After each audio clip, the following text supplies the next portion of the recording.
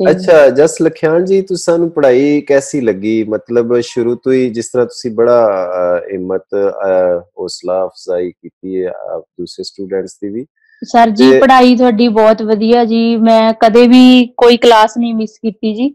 ਜੇ ਖਾਸ ਕੋਈ ਮਜਬੂਰੀ ਹੋਵੇ ਮੈਂ ਦੋ ਕਲਾਸਾਂ ਲੈਂਦੀ ਸੀਗੀ ਦਿਨ ਚ ਸਵੇਰ ਵਾਲੀ ਤੇ ਇੱਕ ਆ ਦੁਪਹਿਰ ਵਾਲੀ ਬਸ ਜੀ। ਦੋ ਕਲਾਸਾਂ ਲੱਗਦੇ ਸੀ ਠੀਕ ਹੈ। ਹਾਂਜੀ ਦੋ ਕਲਾਸਾਂ। ਤੇ ਉਹਦੇ ਬਾਅਦ ਜੀ ਕਦੇ ਇਹ ਦੋਨੇ ਜੀ ਜੀ। ਗੱਲ ਕਰੋ। ਦੋਨੋਂ ਕਦੇ ਮਿਸ ਨਹੀਂ ਕਰੀਆਂ ਜੀ। ਬਾਕੀ ਸਰ ਜੀ ਤੁਸੀਂ ਜਿਵੇਂ ਪੜਾਉਨੇ ਆ ਬਸ ਮੈਨੂੰ ਇੱਕ ਗੱਲ ਤੁਹਾਡੀ ਸਭ ਤੋਂ ਵਧੀਆ ਲੱਗੀ।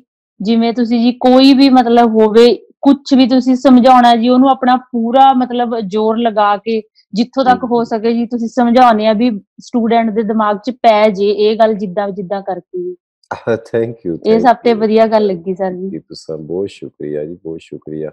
ਅੱਛਾ ਤੇ। ਤੁਹਾਡੀ ਰਿਵੀਜ਼ਨ ਕਰਨ ਦਾ ਕੀ ਤਰੀਕਾ ਸੀ ਮੈਮ ਜੀ?